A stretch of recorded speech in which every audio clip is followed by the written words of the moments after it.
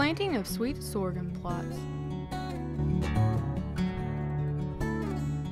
The sweet sorghum variety research trial is coordinated by Pete Nelson with Biodimensions and is managed by Dr. Steve Green.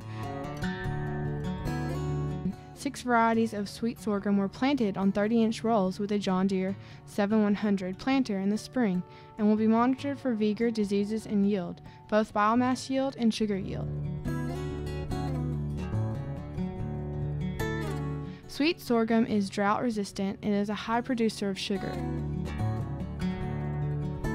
These sugars can be used to produce fuel, ethanol, or to produce specialty chemicals for industrial purposes. Sweet sorghum is a crop to keep your eye on, as it could make a resurgence as a viable crop for production in northeast Arkansas.